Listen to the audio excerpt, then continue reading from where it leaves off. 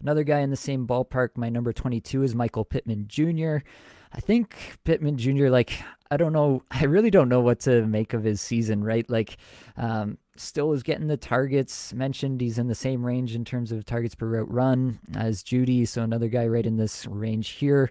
Uh, feels like it was just a lost season in Indianapolis. Uh, you have Jim Irsay apparently basically dictating who the quarterback is week to week, and there's just no consistency on the offensive side of the ball.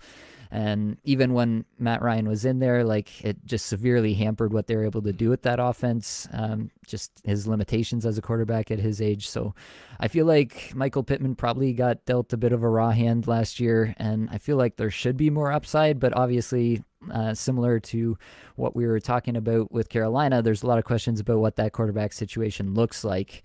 Uh, are you excited about Pittman? Is this the range where you have him as well, or am I a little bit too bullish for you still here?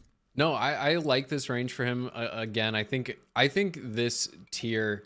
There's you have one guy in this tier uh, of wide receivers that I don't personally agree with, um, and it's we haven't gotten to him yet, so don't worry there. Um, Pittman is again, and it's kind of just the story of this wide receiver tier. We know the talent's there.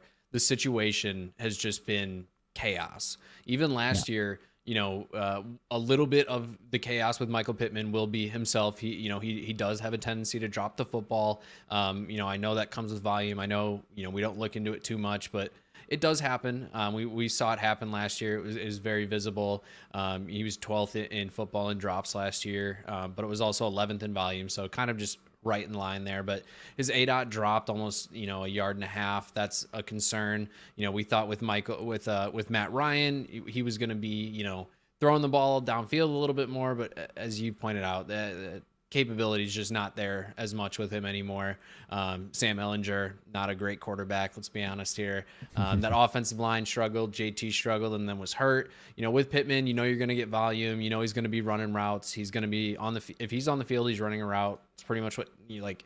The, the, all the makings of a good wide receiver are there, and the talent we know is there. It's just going to be a matter of can the quarterback situation figure it out the Colts mm-hmm. are, uh, as a Bears fan, one of my prime candidates of a potential trade up as well. We could see them jump Houston to come up to one. They get their quarterback. If they get a CJ Stroud, if they get a Bryce Young here, I, I think Pittman almost probably shoots up markets a little bit and becomes a little bit more of a sell. Um, but even at, at what I imagine his top selling price would be, I'm probably in. Um, you have him hmm. here listed as like 106. I've gotten offers for like the 108, and I've just held Pittman at this point just because I do think that ceiling is a little bit higher there. Um, yeah. But for me, you know, I, I agree with where you're at here. I just want to see these guys get some good quarterbacks, especially Pittman, because we know the talent is there. Yep. Yeah, absolutely agree. Yeah, Pittman is definitely a guy.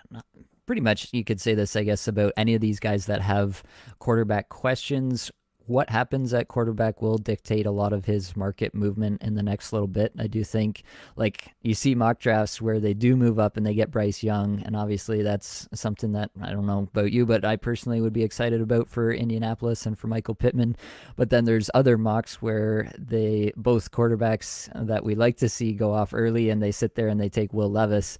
And now I'm not so sure if I'm if I'm into that, especially for next year and what that might mean. You know, if if any wide receiver has a couple of down down years in a row, then it really starts to hurt their market value. And then it might just be a situation where, despite what you think of the talent, uh, he might just be held back by a situation enough where he's just not going to return value for you at the price you'd have to take him here. So uh, this is where I've got him for now. Definitely, there will be some movement based on the quarterback, uh, unless it's just you know kind of a really steady Eddie veteran kind of guy. Like if Jimmy Garoppolo went to Indianapolis or something like that, this is probably where Pittman would end up. Yeah. Um, but yeah, I, I feel like there's something something's gonna change in Indianapolis, and so I am interested to see what goes on there and what that does for Pittman's dynasty stock moving forward.